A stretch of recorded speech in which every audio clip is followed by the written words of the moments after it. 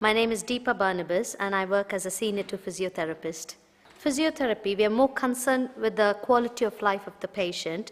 We do a lot of analysis and uh, we do a lot of assessment. It encompasses the physical, psychological, social well being of a person, and we have a holistic approach to improve their quality of life.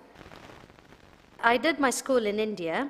I studied in a central government school, and uh, the syllabus is quite a tough syllabus. I did enjoy. I had good times and bad times. I was quite good in my academics. I won't say I was the first ranker or the topper.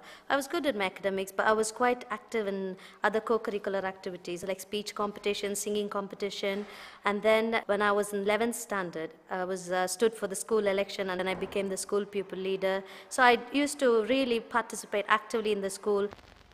I used to go to church, and then they used to take us to a lot of hospital visits, elderly home visits, and visiting a lot of orphanages, children afflicted with AIDS. I used to work with a lot of CP children as well, cerebral palsy children, and that really gave me the satisfaction when I saw the smile in the face, when I saw the smile in the patient's face, and I felt I need to do something. I've, I need to work with them. I need to use my life to do, to make their life better. We just have one life, and you need to make the best use of it. There's no point in just living for myself.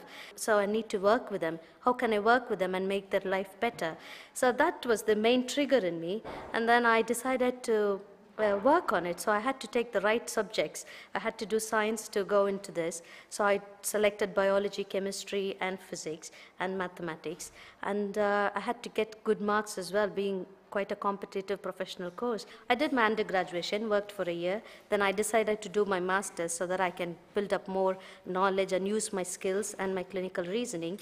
And then I decided to come and do a course here but unfortunately it didn't work out the way I wanted it to be. I decided to go for a job because I was in need of money at that time. Started to apply for jobs, went for about two, three interviews, one in London, one in uh, Southall, one in Southampton. I learned everything was a learning step for me. I didn't just get in the first one, but everything was a learning step. Came to Wolverhampton, got the job.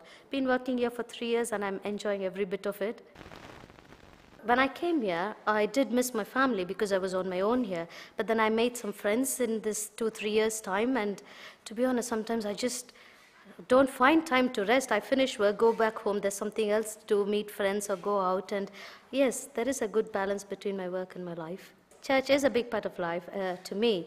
I think it, it molds me to be a better person. So when I do something for somebody and when I feel I've improved their quality of life, I just feel happy and I've, did, I've made a change in their life. So I think church did play an important role in my life to make so many decisions and changed a lot in my personality as well. It can be a bit difficult when somebody, when you lose a patient, you see. It does upset me. I do get emotionally a bit upset. Also, when patients stay here for three, four months and then they go back, you get so attached to them. When they go, I really feel bad. I, I do miss my patients when they go home. I don't have any regrets being a physiotherapist because I felt I've learned a lot as a person. It has built me personally, professionally, um, and I'm enjoying every bit of it. I think I've made the right decision, so I don't have any regrets.